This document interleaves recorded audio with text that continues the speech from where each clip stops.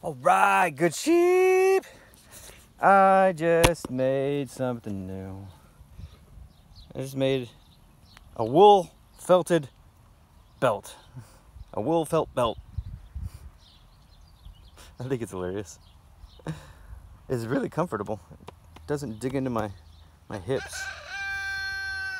But it's very supportive because I stretched the shit out of this strip, pulled it as apart as hard as I could in every single inch of it until it stopped stretching.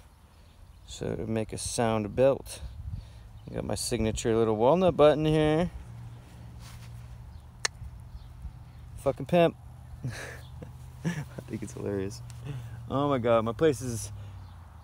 My room is a mess right now, I'm sorry. My house is a mess. I just spent the last half hour looking for this clip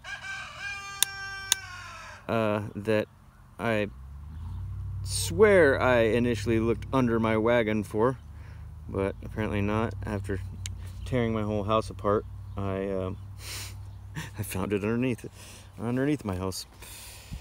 It fell underneath my house. Oh yeah. So now I got. I'm back in the game. I got a camera.